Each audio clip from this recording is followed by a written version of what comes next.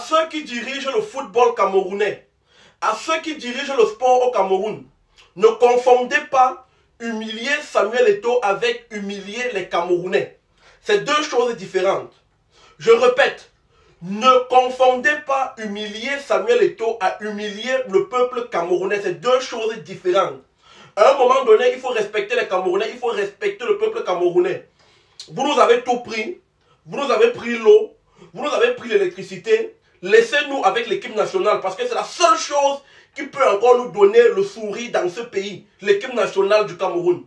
L'équipe nationale du Cameroun n'appartient pas à Samuel Eto'o, ça n'appartient pas à la FECA Foot, ça appartient aux Camerounais. Quand vous voyez comme ça, ça c'est un maillot que j'ai acheté avec mon argent pour supporter l'équipe nationale de mon pays. Je, pas, je ne supplie pas quelqu'un pour être Camerounais. Je ne, je ne suis pas payé pour être Camerounais. Je ne suis pas payé pour supporter les Lions. C'est la seule chose qui me donne le sourire. Quand il s'agit des Lions indomptables, vous voyez comment nous les Camerounais, nous avons toute la passion. Nous mettons tous nos cœurs, tous nos organes. Donc dans vos batailles là-bas au sommet, moi je suis loin en bas. Je n'ai même pas encore mangé depuis le matin. Je ne connais pas vos batailles. Ne nous mélangez pas dedans, ne nous confondez pas dans ça.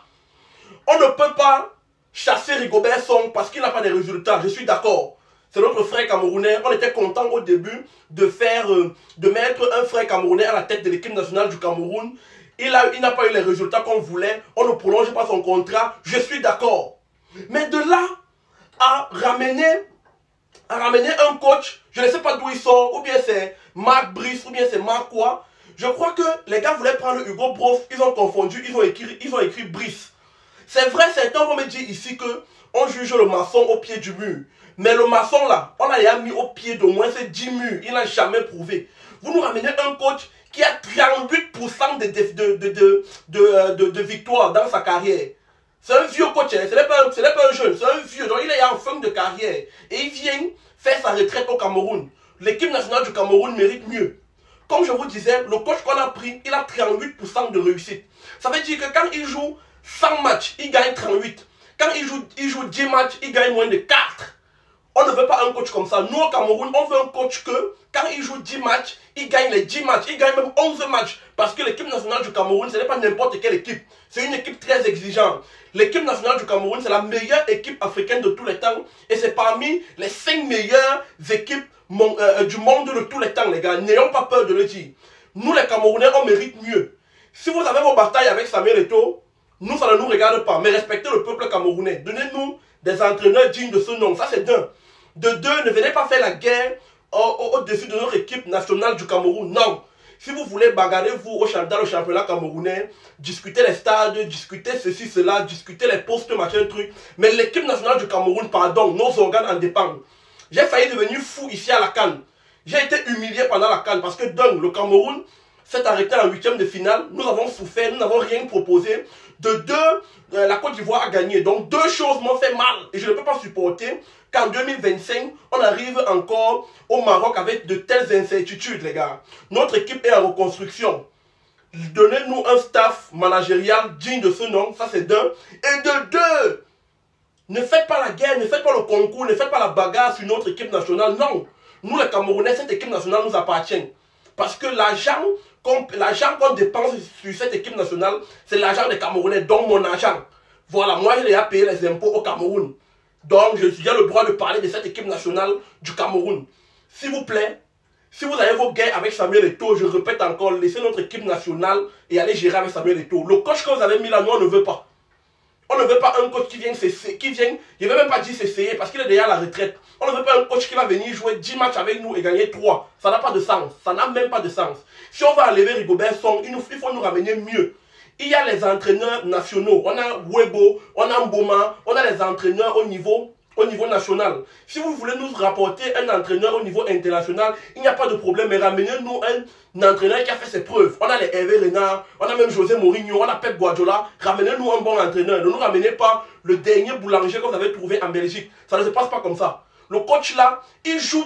mais bon, vous, comprenez même ça. Ça veut dire que si on parle à Cannes, on joue on, joue 4 matchs, le gars va gagner un seul match. Et même là, les gars, c'est quoi ça, mon frère?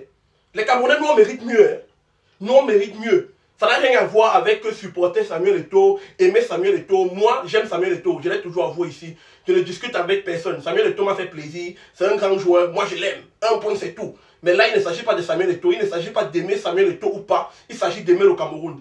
Vous ne pouvez pas venir dire que vous aimez une équipe nationale, vous voulez la reconstruction et vous ramenez encore les guéguets. Parce que vous avez ramené l'ancien staff que la FECAFOOT a chassé. Ça veut dire qu'il ne peut pas avoir cohabitation, il ne peut pas avoir, euh, il ne peut pas avoir euh, euh, collaboration entre les deux équipes. Ça sera la guerre. Et quand il y a la guerre déjà, au, au, sein, au sein de la direction d'une équipe, l'équipe ne peut pas bien se comporter. Donc arrêtez-nous ça les gars. Arrêtez-nous. Si vous voulez continuer la guerre, supprimez l'équipe nationale du Cameroun pour quelque temps, allez faire vos guerres. Celui qui gagne vient maintenant prendre la charge de l'équipe nationale du Cameroun. Mais on ne veut pas deux entités qui se bagarrent à la tête de notre équipe nationale. Le Cameroun mérite mieux. Les Camerounais méritent mieux. Nous donnons tellement d'amour à notre équipe nationale. Vous avez vu à la dernière quand le nombre de Camerounais qui se sont déplacés pour aller en Côte d'Ivoire pour supporter les Lions. On a, subi une humiliation et on ne veut pas subir une autre humiliation. Reconstruire l'équipe, laissez notre équipe se reconstruire. Si désormais c'est elle qui veut prendre la reine du Cameroun, euh, euh, de l'équipe nationale du Cameroun, allez vous bagarrer? Celui qui va gagner prend la tête de l'équipe nationale du Cameroun et nous met un staff managérial digne de ce nom. Voilà, respectez-nous. Ça c'est quoi? C'est quel entraîneur qu'on va chercher comme ça, mon frère? Mais ça c'est... Mais, mais on est où là maintenant, mon frère? En tout cas, je suis un pauvre Camerounais, moi, il n'est rien. Moi, il parlait avec mon cœur, avec ma passion, parce que c'est la passion qui me guide. Moi, j'ai la passion pour l'équipe nationale du Cameroun. Je suis un passionné des Lions Indomptables, et vous le savez. Donc, le coach là, nous, on n'en veut pas. Cherchez-nous un bon coach, et surtout, arrêtez vos guerres au, au, à la tête de notre équipe nationale. Parce que c'est l'équipe nationale du Cameroun, c'est pas pour vous. Si vous avez vos égaux d'hommes, allez régler ça entre vous. Laissez notre équipe nationale. Je vous ai parlé, non? Non, Élisée, tu menaces comment Je ne vous menace pas, les grands frères. Mais pardon, écoutez-moi, on est ensemble. À tous les benguistes regardant cette vidéo et vivant en Europe, aux États-Unis, au Canada ou encore aux Émirats Arabes Unis, si vous désirez envoyer de l'argent à moindre coût vers vos proches restés en Afrique, téléchargez dès aujourd'hui l'application TapTapSend qui vous permettra d'envoyer de l'argent directement dans le téléphone de vos proches restés en Afrique. Pour tous ceux utilisant l'euro, TapTapSend vous permet d'envoyer jusqu'à 1500 euros à un taux fixe de 2 euros, du jamais vu. Et pour ceux qui sont dans les pays n'utilisant pas l'euro, comme les Royaumes-Unis, les États-Unis ou encore les Émirats Arabes Unis, TapTapSend vous permet d'envoyer de l'argent gratuitement. Téléchargez dès aujourd'hui l'application TapTapSend et n'oubliez pas d'utiliser mon code de promo SNIPER pour bénéficier de 5 euros, 5 livres sterling ou encore 10 dollars sur votre première transaction. Vous faites quoi? Téléchargez TapTapSend, on est ensemble